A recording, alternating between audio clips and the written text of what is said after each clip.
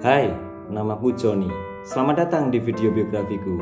Dulu aku bukanlah bagian dari keluarga Garuda Wisnu Satria Muda. Hingga pada suatu hari, seorang pria telah mengadopsiku. Aku sangat gugup waktu itu. Kupikir di rumah baruku aku akan diterlantarkan dan menjadi topeng cadangan. Namun ternyata tidak. Mereka sangat menyayangiku, seperti pemilikku yang dulu. Aku masih ingat saat pemilikku membelikanku rambut baru. Rambut yang sudah lama aku idamkan. Rambut itu berwarna coklat dan halus sekali. Benar-benar masih baru dan belum pernah dipakai sama sekali. Sedikit demi sedikit aku mulai merasa nyaman dengan majikanku yang baru. Dia sangat baik dan sayang padaku. Aku juga masih ingat saat dia merapikan rambutku agar tidak terlihat kusut. Andai aku bisa berbicara kepadanya, pasti akan kucapkan banyak terima kasih atas segala perhatian dan kasih sayangnya selama ini. Di rumah baruku, aku juga punya banyak teman yang baik. Ada Saipul, Nino, Freddy, dan Ricardo. Mereka sangat menerimaku dengan baik di sini. Dan ternyata di antara teman-temanku di sini ada yang wajahnya mirip aku. Dia adalah Ricardo. Bentuk wajahnya benar-benar mirip aku hingga Saipul sering mengejek kami dengan sebutan si kembar beda alam. Aku sering tertawa mendengar Saipul menyebut kami seperti itu. Dia memang paling usil di sini. Yah, merekalah teman sekaligus keluarga bagiku. Aku merasa bersyukur bisa berada di tengah-tengah mereka, menjadi bagian Garuda Wisnu Satria Muda. Tibalah suatu hari sebelum pentas, kulihat mereka sedang sibuk menyiapkan semuanya, dari gamelan, kostum, dan perlengkapan lainnya. Aku masih digantung di tembok bersama Freddy.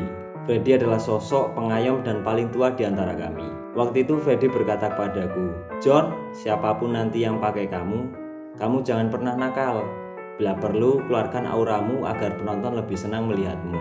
Mendengar kata-kata itu, aku semakin gugup dan ragu dengan diriku sendiri. Aku merasa ketakutan. Hingga akhirnya datang seorang yang masuk ke dalam rumah dan menurunkanku dari tembok. Dia bukan orang asing. Dia orang yang pernah memasang rambut di kepalaku. Saat pentas pun tiba, aku sudah tidak bisa berkata-kata lagi karena bahagia saat itu. Aku berada di barisan paling depan dan menjadi leader. Di tempat itu, Aku melihat banyak orang dari semua sudut memandangku dan melihat tuanku menari. Sungguh sensasi luar biasa yang belum pernah aku rasakan sebelumnya. Hingga akhirnya kupancarkan auraku agar penonton semakin suka melihatku. Dan itu semua berhasil. Setelah pentas selesai, dia tidak langsung menaruhku begitu saja. Dia memandangku dan membelaiku beberapa kali. Hingga akhirnya aku diletakkan berdekatan dengan teman-temanku. Aku merasa sangat puas hari itu.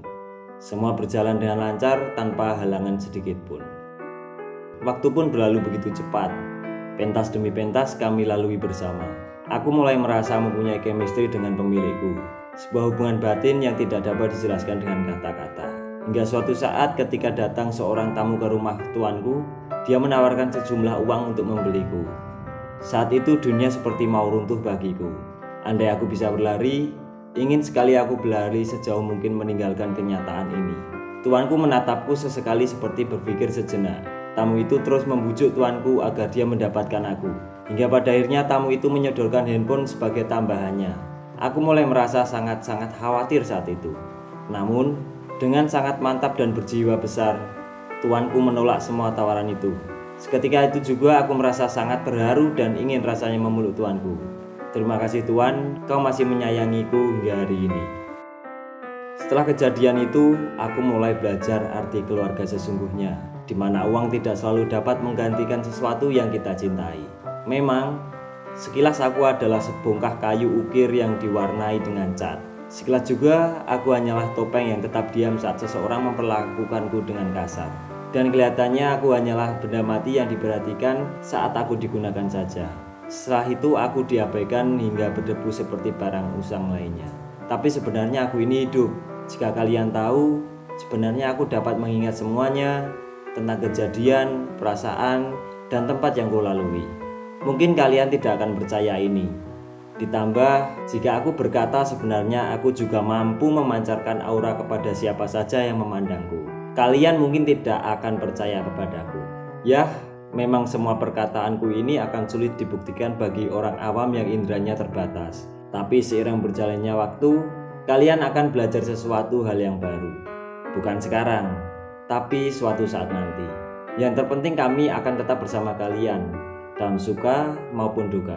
Dan kami berjanji akan terus memancarkan aura kami kepada orang banyak agar mereka melihatmu menari dengan indah dan bahagia. Itulah tujuan kami diciptakan dan berada di sini. Itulah sebagian kisahku di sini. Masih banyak kisah lainnya yang belum aku ceritakan ke kalian. Mungkin suatu hari nanti akan kuceritakan semuanya pada kalian. Dan dengan kisah pendekku ini, semoga kalian dapat mengambil sedikit pelajaran di dalamnya. Setidaknya untuk menyayangi dan merawat topeng buto kalian. Sekian kisahku ini, dan sampai jumpa.